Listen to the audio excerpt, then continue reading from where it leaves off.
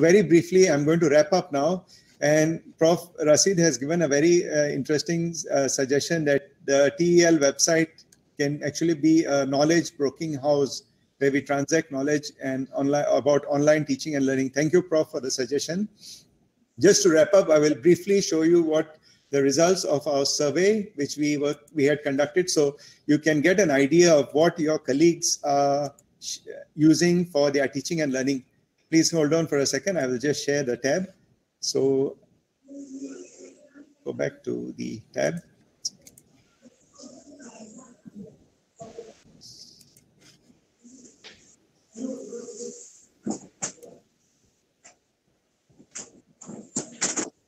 Okay, can you see the tab, Prof? I'm sharing a tab. Is it visible? Uh, coming up. Coming up. Yes. Okay. Yes. So, so what we did is we conducted a brief survey just to find out what exactly the lecturers prefer or respected lecturers prefer in the system. So we had about 133 responses, and then what we realized is that a majority are using asynchronous methods. This may be probably related to connectivity issues. Uh, however, some use uh, synchronous uh, method as well. And regarding the platform for delivery, a majority use Google Meet. And that again may be linked to the fact that we have a Google Enterprise.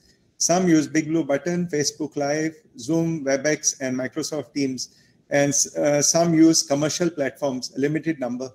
Now, regarding content creation, uh, mostly people use screencasting to create content and uh, 44 of our lecturers actually host our content on a UMS YouTube channel. Okay, now UMS YouTube channel is very effective in propagating your lectures as well as in promoting your teaching and learning online. Okay, and 54 of the lecturers responded saying that they use UMS OER. Now, we also try to assess the degree of competence for screen recording and screencasting. So an average of around 43% have the experience with screen recording and screencasting. Uploading uh, videos to YouTube, uh, about we have a mix. We don't have a, a bell curve, but we have a distribution. And I have posted some videos in our TEL website regarding how to upload a YouTube video and how to allocate a license or select a license. Audio recording is another aspect which needs to be uh, used in low bandwidth situations. So I have put in a, in the tools, digital tools, I have put in a tutorial on Audacity. Audacity is a free online tool for sharing your video audio files in situations of low bandwidth. Okay, and then uh, this is the reason why we asked Fong to address the issue of curation and copyrights because a majority of the, our respondents had questions regarding content, uh, copyright, and curation. Okay, so that's so we'll address this by we have actually a video regarding the copyright curation. I will post it on the uh, website. Okay, so with regard to content uh, online surveys, most of our lecturers are competent and also with regard to broadcasting and using our platform. Uh, what we uh, understand is basically an unlimited number of platforms are available. However, the main problem may be accessibility and bandwidth. Okay, so that's basically the summary of this survey. So with that, I will like to request Prof. Rasid to give his final closing remarks. And thank you very much. Prof. Rasid.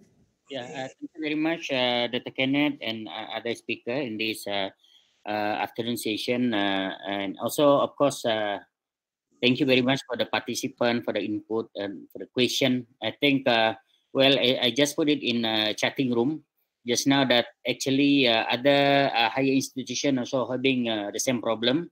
And as far as I know, Baling, Pendang Kedah also, I think sometimes the, the, the problem worse than us but uh, it's our job to make sure that everything is going on and uh, well uh, we have to uh, look into uh, many ways to, to, to, to address the problems and i think uh, just now somebody asking uh, asna asking about the byod and then i have communicated recently to Bendahari and then the, I think if we work together, a lot of issues can be can be addressed. Once again, thank you very much, and uh, we believe that uh, by working together, um, we can uh, overcome whatever issue that we're facing at the moment. Thank you very much.